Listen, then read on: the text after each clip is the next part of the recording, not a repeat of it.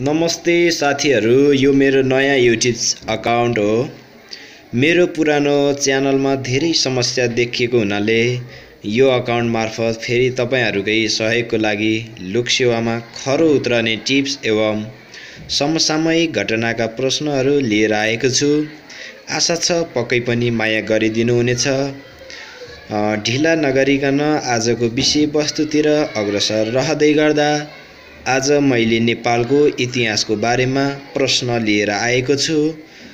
नेपालको इतिहास सम्बन्धी विविध प्रश्नहरूमध्ये बिसवटा प्रश्नहरू आज म तपाईँहरूलाई देखाउन गइरहेको छु।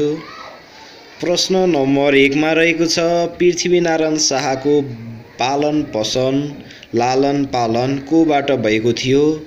यसको सही एन्सर रहेको छ चन्द्रा प्रभावती पृथ्वीनारायण शाहले कोसँग मित लगाएका थिए। यो वीर नरसिंह मल्ल रणरजित मल्लका छोरा हुन्।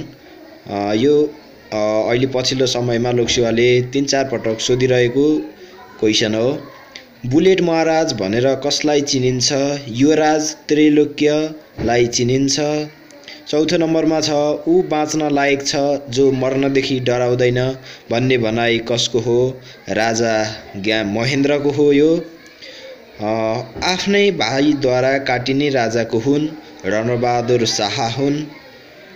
छैटौँ नम्बरमा छ श्री पाँच वीरेन्द्रको समूल वंश नाश हुने गरी विवश नरहंसाकारी नारायण हिट्टी हत्याकाण्ड कहिले भएको थियो?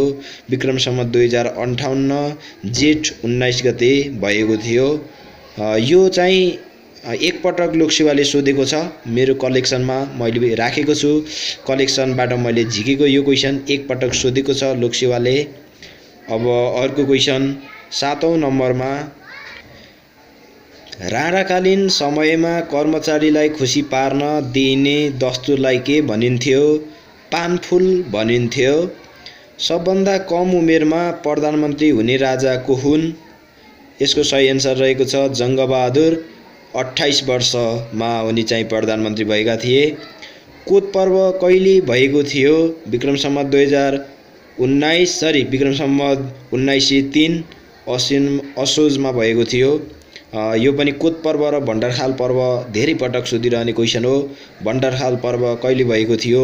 विक्रम सम्मत उन्नाइस सय तिन कार्तिक बाह्र गते भएको थियो। कोत पर्व? उन्नाइस सय तिन असोजमा र चाहिँ भण्डारखाल पर्व कार्तिक बाह्र गते भएको थियो। कोत पर्वमा सर्वप्रथम मारिने व्यक्ति को थिए अभिमान सिंह बस्नेत। कोत पर्वमा सर्वप्रथम मारिने व्यक्ति हुन्। भण्डारखार पर्वमा सर्वप्रथम मारिने व्यक्ति को थिए? यसको सही एन्सर रहेको छ वीर ध्वज बस्नेत। भण्डारखाल पर्वमा मारिने पहिलो व्यक्ति। कोत पर्वमा र भण्डारखाल पर्वमा एउटा तपाईँलाई ज्ञान दिनेछु।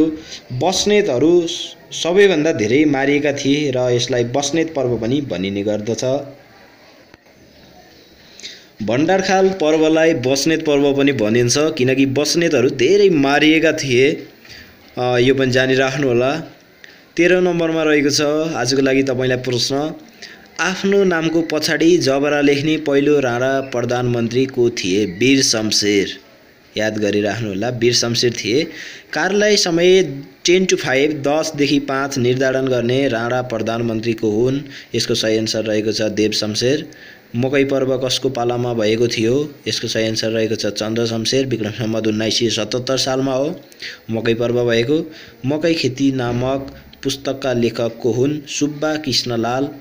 मकै खेती नामक पुस्तकका लेखक हुन्। सत्रौँ नम्बरमा रहेको छ घरको बाघ वनको स्याल भनी कुन प्रधानमन्त्रीलाई चिनिन्छ? यसको सही एन्सर रहेको छ चन्द्र शमशेर। चार शहीदमध्ये सबभन्दा कम उमेरका शहीद हुने व्यक्तिको हुन् यसको सही एन्सर रहेको छ। गङ्गालाल श्रेष्ठ म राष्ट्रको नोकर हुँ भन्ने प्रधानमन्त्रीको हुन् यो पनि धेरै पटक सोधेको क्वेसन हो।